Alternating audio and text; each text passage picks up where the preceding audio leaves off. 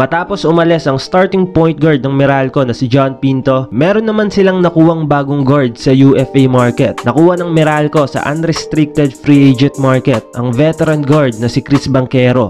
Ang Bolts management ay kinumpirma sa kanilang social media account ang pag-sign at pagpili sa kanila ni Banquero. Ang management ng Meralco ay naniniwalang mag-fit si Banquero sa sistema ni Coach Norman Black at sa kultura ng team. Hindi nagbigay ng detalye ang management patungkol sa kontrata ni Banquero. Pero ayon sa isang insider, pumirma si Banquero ng 3-year contract sa Meralco na same offer ng Fuel Masters. Pero dinecline ito ni Banquero at mas pinili ang offer ng Meralco. Ang Meralco ang pang-apat na team ni Chris Banquero sa PBA. Ang naunang team ay ang nag-draft sa kanya na Alaska Aces. Sumunod ang Magnolia at pangatlo ang Phoenix Fuel Masters na kung saan ang kapalitan niya para mapunta sa Fuel Masters ay si Calvin Abueva. Ngayong Governor's Cup nag-average si Banquero ng 18 points, 3.6 rebounds at 4.4 assists per game sa first 5 games ng Fuel Masters. Nag-average din ito ng 39% beyond the arc at 55% from the field. Malaking tulong ang maibibigay ni Chris Banquero para sa koponan ng Meralco. Una ay natapalan na niya ang pagkawala ni John Pinto sa rotation ni Coach Norman Black. Pangalawa, isa siyang great defender. Kaya niyang makipagsabayan at madepensa ng elite guards ngayon ng PBA. Pangatlo, isa siyang two-way player. He can play defense at the same time he can contribute offense. Lalo na ngayong conference, nasa peak siya ng kanyang career. At ang pang-apat ay posibleng ito na ang inihintay ng Meralco